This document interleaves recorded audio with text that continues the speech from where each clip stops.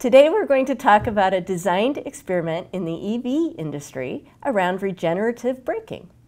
Specifically, we'll look at two different designs of a brake and see how the speed and the deceleration, as well as the two different designs, affect how much energy is recuperated.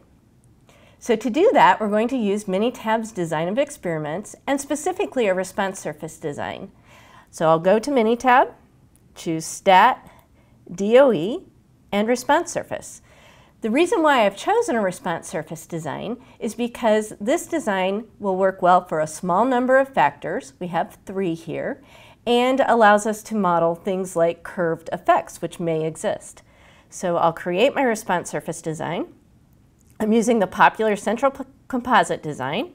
I have two continuous factors, that's the deceleration and the speed and one categorical factor, which is comparing the two different brake designs.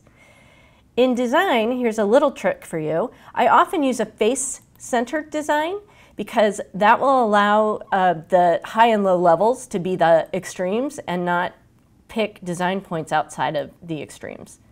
In factors, I can fill out all my factor information, such as I've got speed, I've got uh, deceleration, and I have design.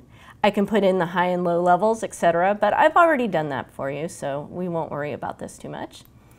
And click OK. Minitab has created the perfect design for looking at this problem. It gives you automatically the different uh, speed settings, the different deceleration settings, and we are comparing design A to design B of the braking design. Now what do I do? I run this experiment. So this is going to take 26 runs to look at these combinations of settings. They are in random order and I'll run them in the order that Minitab gives me and collect my data. So here's my data. Now all I need to do is go to Stat, DOE, Response Surface, analyze my response surface design by putting in my outcome variable, the energy recovered, that's what we measured, I might want to uh, change my model, but usually the default is just what you want to do. And I'm going to make model selection easy by turning on a stepwise procedure. That's it. Click OK.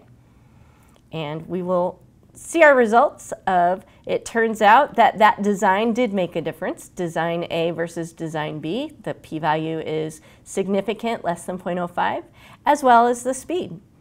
Now, if I want to look a little further at my analysis, once I have run the general analysis, I can look at graphs around that. So for example, I'm going to look at the factorial plots because this will give me the optimal settings.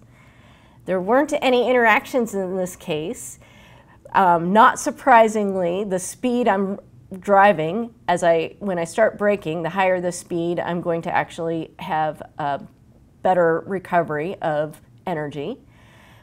But what's more important to my problem is it looks like my new design B of the braking system actually increased the average energy recovered.